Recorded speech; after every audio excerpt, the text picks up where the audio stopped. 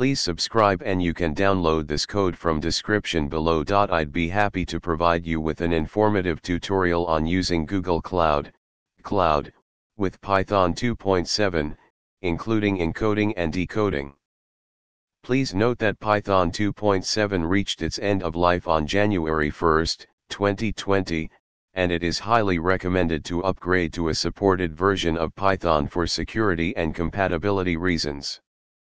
However, I'll provide a tutorial for Python 2.7 as requested. Before you start, make sure you have the following prerequisites. In this tutorial, we'll use Google Cloud Storage to store and retrieve encoded data. You can create a new bucket using the following command in your terminal. Replace your underscore project underscore ID with your actual Google Cloud project ID and your bucket name with a unique name for your bucket. Now, let's write Python code to encode and upload data to the Google Cloud Storage bucket. We'll use the gsutil tool to upload the encoded data. Replace your bucket name with the name of the bucket you created in step 1. This code encodes the data underscore to underscore upload dictionary as JSON and then encodes it in base 64 before uploading it to Google Cloud Storage.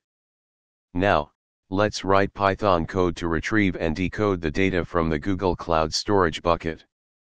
Replace your bucket name and encoded underscore data.json with your bucket name and the object name where you uploaded the encoded data in step 2. This code downloads the data, decodes it from base 64, and parses it as JSON.